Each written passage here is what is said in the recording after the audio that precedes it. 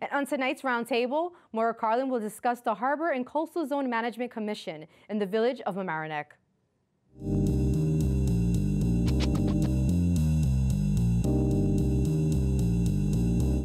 Hello, I'm Maura Carlin. Welcome to the Roundtable.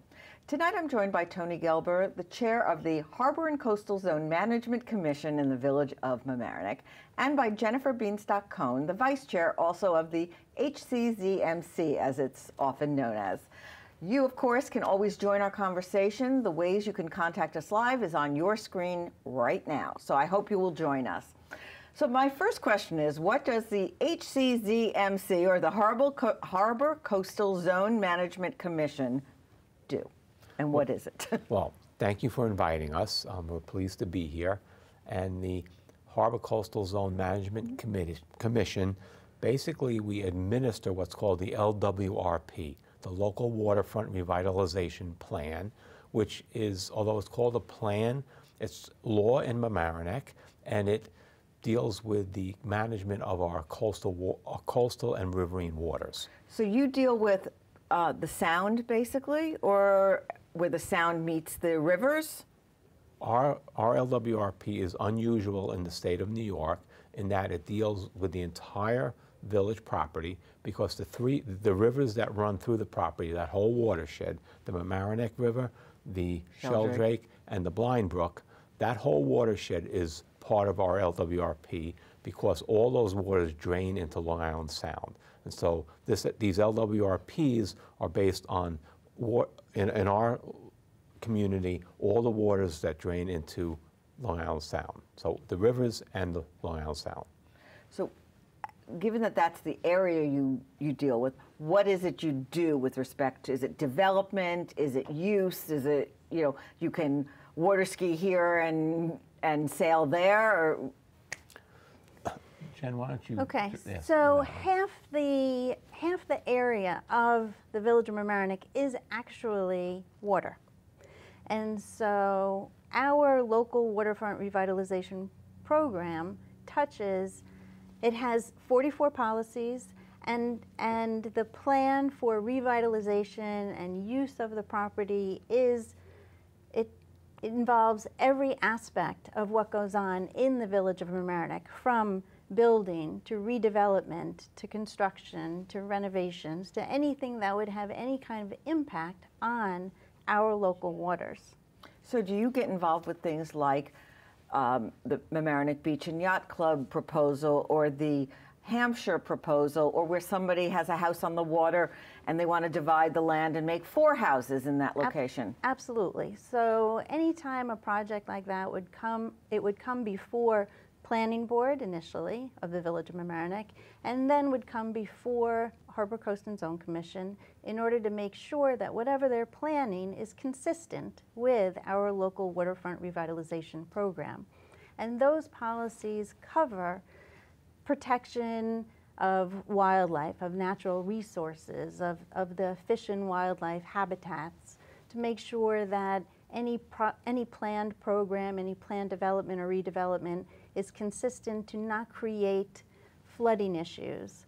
Um, and, and in the village of Mamaroneck, I think we're all very familiar with the fact that we have several flooding issues, and we are trying as a commission and within the village to alleviate as much as possible any, any further flooding. So how can your commission prevent further flooding? I mean, are you trying to encourage water from the rivers, let's say, to go into the sound or to prevent the sound from um, overflowing during a big storm? Can you give some examples of what that means? Well, that's a great question, right, by the so, way. Right, and so pretty much what we, we deal with is that when the, an applicant comes before us, an applicant is usually doing either a renovation or a new construction.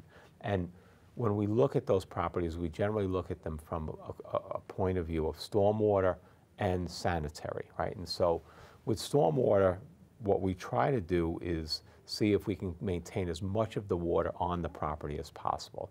And that's by, we call them kind of green infrastructure techniques the code pretty much calls it permeable surfaces. So you're trying to keep the water on the property and not flowing into the sound? Right. So exactly. right. So it's called retention or detention. Right. So retention you get retained.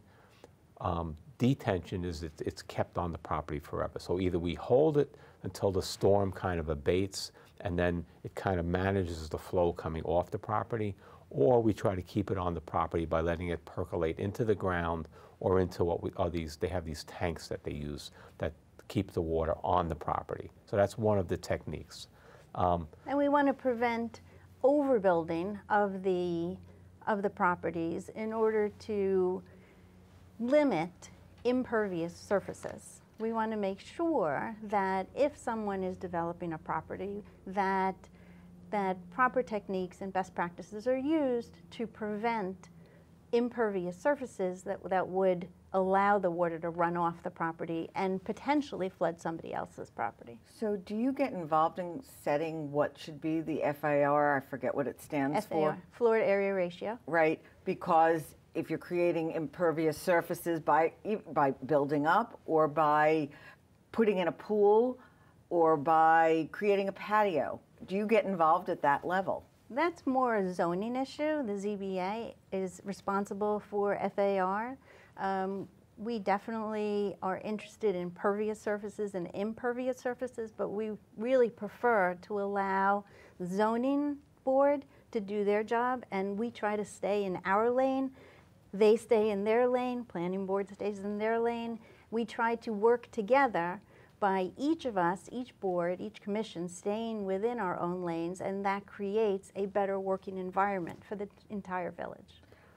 Are the, go ahead, Tony. Another aspect of, of, of kind of water control is wet, what's called wetlands or wetland buffers, right? And, and there's so, a lot of wetlands by Hampshire. Right, there's a, a lot of wetlands all over right, the okay. village. Right, absolutely. There's a lot of, and there's tidal wetlands, which means it's sound or non-tidal, freshwater wetlands, right? And both of those, the regulations are fairly strict that you need to protect the wetlands to the maximum extent practicable and possible. And so, again, the idea was that a wetland can absorb water. So this keeping the water on the property is key to, to, to reducing flooding. Um, we have actually, oh, we're going to wrap up this segment and come back in a moment. Uh, stay with us. We're going to take a quick break. Um, we'll be back. Okay. Do you need space for a meeting, conference, or presentation? LMC TV has what you need. Our 768 square foot studio space is ideal for many types of productions, readings, recitals, rehearsals, and workshops. The space has video recording capability, as well as daylight temperature lighting, green screen, and stage.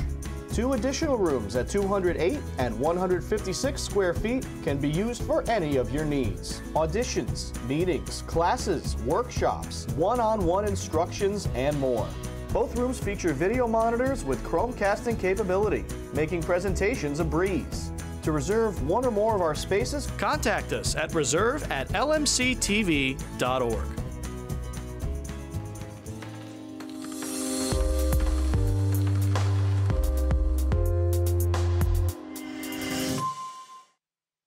So there you are, shuffling through a stack of resumes, and you come to mine. This is it. First impression. My way in. But can my resume show you how I truly stand out? Like, that I was studying, going to night school while working two jobs just to help my parents pay for groceries, or being the first one to always step up. No, that's something you just can't put on paper. Look beyond the resume and discover new ways to develop great talent that is dedicated, hardworking, and determined like me. Welcome back. I'm talking to Tony Gelber and to Jennifer Bienstock Cohen, who are on the Harbor Coastal Zone Management Commission, and we're going to talk about what you referred to as the LWRP, the Local Waterfront Revitalization Program, which I understand it is also is 1984. Yes. Is that right? Right. Um, so you said that, if I understood correctly, there are 44 principles or policies, policies that you need to apply. Um, how do you, you know, you raised something towards the end that which was to protect and preserve. Preserve. That's kind of broad. um, is it really subject to interpretation? Well, the um, the 44 policies, several of them were, are based in a, in a state coastal plan that then got passed down to villages and towns. And of those 44 policies that the state has, we have about 40 that are active in our LWRP. Each one of them has the statement of the policy and an explanation of how it should be applied. And so that helps with, with the principle. Um, but the, the policies, and I'll give you just an example. Policy 23 is protect and preserve resources, and it means historic resources, scenic resources, uh, natural resources. And then part of the plan is part of the plan is documents and uh, bodies of water that need to be protected. And so as you look at this protection, it's, it's fairly specific. And Jen and I are trying to administer this law kind of the way it was written and the intent. And for example, any property that's over 50 years old, if it's eligible to be on the State Historic Preservation Register or the National Register, really needs to be protected. And that's very specific in these policies. Another part of that historic policies, if, if a property is within 500 feet of the boundary of an existing historic property, it needs to be protected and preserved. So although there is quite a bit of interpretation, there's also very specific uh, information in this plan that, as I said, we are going to we're trying to administer it within the guidelines of the plan. You know, in the past, my understanding is there have been controversy, controversies or controversial decisions made by the commission. Um, if the policies are set and explained, why do you think that was, or why is it not the case now? Well, well go ahead. A lot of times, people will, build, will buy a purchase a property on the on the waterfront, and they want to build a structure that they don't realize is within a wetlands buffer or sometimes even within the wetlands. And although in the past, in the distant past, that type of development, construction might have been allowed, um, we tried to develop a, a, another way of, of allowing them to improve their property without negatively affecting or adversely impacting the wetlands. So you see yourself as working with people to find a solution as opposed to Absolutely. saying no? It is our goal and our job to work with people and help people understand and, and develop their properties to the, to the best extent possible for both themselves and the village. Right. John, um, I would just want to interrupt because John on Facebook uh, has a question for you. Are there any plans to address the new bench pond at the West Basin? I'm not familiar with that area, so I will leave it to you to tell us where he's talking about. The bench pond at the West Basin. Well, I, I think. It's not currently before us. Okay. And so when, an app, when and if an application does come before us, it would absolutely be uh, relevant and, and would be considered under the 44 policies of the LWRP. For me and for other people watching, where is this? So if you, so if you, um, well, the West Basin, as, as, you know, if you're standing on Boston Road and looking out, the, the basin to the right is the West Basin. And so okay. that's the basin closest to uh, it's not Rushmore, it's Orienta. Orienta. Orienta, right? That's the West Basin. So um, right now, as Jen said, we don't have an application before us, and not, neither one of us are aware of that particular property, which we probably, if it was before us, we couldn't discuss it.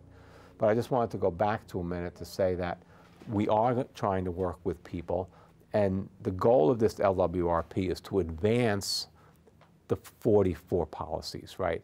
And so we're not supposed to take the diminish one policy and promote another policy. So it's supposed to be moving all 40, in our case, about 40 policies forward for together. this together for this protection, preservation, and development of um, local waterfront redevelopment program. And so part of this whole LWRP was um, the, the, the, the, redevelopment of, of declining marine, like we have a, we have a very unusual harbor, right? We have marine industry in Mamaroneck, right? We have Derecktor's Boatyard, we have all of our other boatyards. Director builds ships. This is so unique. And that this unique quality and our scenic quality, we have so many great resources. And, and our, our role as administrators is try to, to enhance and promote these policies to protect and enhance those policies, both for the public and private. Does the entire village of Mamaroneck fall within your commission? Basically. Yes. Pretty much all of it? Yes. Um, so the LWRP um, is almost 35 years old. Is there talk about taking another look at it? Yes, there is. And in fact, yeah, we have, there, and Jen and I pretty much, we've been on the board, f- or on the commission for about a year. We're new administ, new champions of it. But um, there is uh, a draft revision in the works, which we haven't been asked to review yet. I have a copy on my shelf of binders, which I haven't read yet. But um, yes, it is, and, and documents, as you know, need to kind of be living documents. And so, uh, yeah, we, we would be happy to look at what's coming down the road. And I think that in general, laws, some of the laws at least that are past will come before us for what we call this consistency review. Is We're going to come back to Okay. that in a moment. We're going to take a very quick break. You can all get a snack and come on back, and we're going to continue our discussion about the LWRP and the HCZMC. Stay with us. LMC TV Media Center is the spot for your next party. Lights, camera, liftoff. The possibilities are endless. Space adventures, video gaming, whatever they imagine, LMC can achieve. Kids of all ages have fun making their own videos in our professional TV studio. LMC TV is the perfect spot for your creative kid to celebrate with friends and make a memory that will last forever in video. Party themes can range depending on their desire. Fun news shows, music videos, stop motion, overall silliness, our cameras can capture it all. Contact us to book a party today.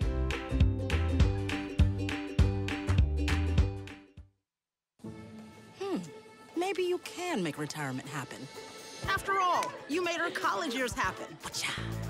Opening that education savings account when she was little. Spearheading a campus tour. And another, and another, and another, and another. Bam! Deciphering financial aid. She was like, what? And now she's like, you aced planning for college. Now get the tips you need to get on track at aceyourretirement.org. Welcome back. We're talking water. Actually, I'm just going to shorten it. So you're talking about dealing with the coastline and the w- LWRP, looking at where it stands today versus the uses and the things to preserve. Have things changed in the last 35 years? Well, things have changed, but I think the, the basic need for this preservation of resources in Mamaroneck has not changed. And if you look at the resources, again, historic, scenic, natural resources, this wonderful shoreline and rivers that we have, the protection of those hasn't changed. What has changed, I think, is the amount and nature of development, right? And so we had a lot of Ever increasing density. Right, ever increasing density and development, and sometimes that's at the expense of nature, as we all know. And so, this trying to balance these needs of what do we need to preserve to keep our community beautiful and wonderful, and still help people with their properties and their development is a balancing act. And um, I think you know th- this LWP is is designed to to just try to promote them all, and then if we get a revision, we'll see if that revision looks consistent with what the original intent was and the current status of affairs. You said if you get a revision, who would be giving you a revision? Well, at the, at the moment, I'm pretty sure there's a, a, a revision document. So the whole village is going through a comprehensive planning Ah, you exercise. mean as part of the master plan? Right. Well, I Master think this. LWRP revision started a little bit different to that, but it may be wrapped into that process at the, at the moment. I'm not sure about that, honestly, so I can't say that. So, yeah, I'll stop there. Are there particular things that you would not allow to be done in the village? Well, I think there are a number of things that that you could not do. You could not um, build in the middle of Van Amringe Pond. you, you could. Okay. Um, You, you, uh, you would not be permitted to, um, to extend a dock far out into the harbor. There are certain dredging guidelines. There are, um, you would not be able to uh, dump your stormwater or groundwater on someone else's, or stormwater on someone else's property. Um, you would not be able to cover an entire lot with um, impervious material. Um, that would Those things that actually come up as proposals. Um, they used to, not so much anymore because I think builders, developers, private homeowners are doing an excellent job of really caring for the village and the and the and the careful and considerate development of the village. So I, I think everyone really is doing a very good job. And I also think that our building department does an excellent job of working with applicants to go through applications and make sure that they are filling out the forms properly, and then they come to us, and then we tell them what else we could potentially need, and, and it's a back and forth process until the project is where we want to see it. Is it more of a discussion than a Very much so. rub, you know, yes or no? Absolutely, Right. it is it's- very it- much a discussion. It's a very iterative process. And I think sometimes applicants don't realize that. And that one of the reasons we wanted to come here tonight, and thank you for letting us come, is that this whole process is pretty complicated. If you look at this document, it's a thick document, but this people who think they can come in and it's going to be yes, it's going to get stamped yes, or it doesn't really happen because there are four, five other commissioners besides Jen and myself, and there's lots of smart people in our village who um, send us comments and letters also. And so this iterative process, as Jen says, it, it helps get the best product at the end of the day for both the private person and the preservation and of the public resources that we, we have. Are there other boards or commissions that you really coordinate with? We definitely try to coordinate with um, all of the other land use boards. Uh, we all, as I said before, we do try to stay in our own lane, but plan that any project will come to the planning board first, and then it will come to us so for specific consistency or inconsistency finding. Are there any other matters that, that your commission gets involved in? Well, we, we kind of get involved in a very broad uh, i- m- amount of issues. And one thing that comes to mind is last summer, I guess it was, there was a, really it was a, a citizen complaint about mosquitoes. Yes. And mosquito spraying, right? And being that this. Or lack thereof? Right. Right, or lack thereof, correct. And how to properly And how to, you know, what, really, what was consistent with this LWRP? And when we looked at that particular, uh, it was really a complaint, it, it was, okay, we had, th- there were things the Westchester County was supposed to be doing, and then there were things the village was doing, and it was a bit, you know, left hand didn't know what the right hand was doing to a bit. And so just the fact that it came before us and it got discussed among the commissioners, and then again, an iterative process, it went back and the village manager had to look up some stuff and they called, called the county. So that process to me makes, at the end of the day, a, a better community. And did you get involved because whatever was going uh, into the community would likely end up in the water? Oh, it absolutely Absolutely. would. Yes, yeah, absolutely. absolutely would.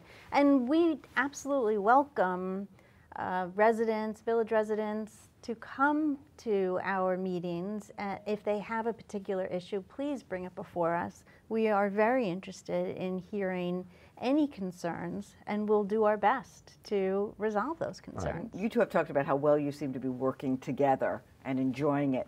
But what made you decide to volunteer to be on this board together? And you were just appointed chair, and I think you're vice chair, which has to take up a lot of time. Yes, Well, it does. Right, yeah. So I, though, we, I was not appointed chair, Oh, right? So the way this committee works is, Right, we elected him. right, The, the commission elected him. right. And then I nominated Jen and the commission not elected Jen as vice So- chair. But you were appointed to the commission. Yes. Right. I was asked by the current mayor a year ago to, to join the committee. And I don't know how. So, And so I, right. Right, but I want, I if we could just go back for a second. One of the other things that we're supposed to do, and which we do do, is that, and Jen used a good word yesterday when we were discussing a, a matter, there's other state agencies, the Department of State and there's the Department of Environmental Conservation. So if there's an Army Corps, a federal permit required, which when you do any work in these tidal wetlands, sometimes an Army Corps permit is required. So if an Army Corps permit is required, the Department of State does consistency from the state level RE the Army Corps permit, right? So this coordination of efforts between kind of the federal government through, through the state and then the New York State DEC, Department of Environmental Conservation, they, they look at wetlands and they have a whole bunch of, and they have to issue wetlands permits. So this coordination between the village and the state and kind of the army, all supposed to work together. And so we get asked to, to send comments back to those agencies. Now, in general, when you look at these laws, many times the federal law is the weakest, the state is a little more stringent, and then local laws are even more stringent. And so I work in Brooklyn, which is New York City, and what we find there is that many times New York City laws are more stringent than any place else in the country. So in our community, this similar structure exists, and so we have to look at this at LWRP and then see if, if the action is consistent with our policy. So that whole coordination effort is time consuming, as you kind of mentioned a minute ago. Okay, we're actually out of time because we've covered a lot of water Yes. instead of ground. Oh, Thank you. Tony. Thank you, Jennifer. Thank you for joining us. Thank you all for watching. We, but you should stay tuned. We've got more of the local live stories coming up.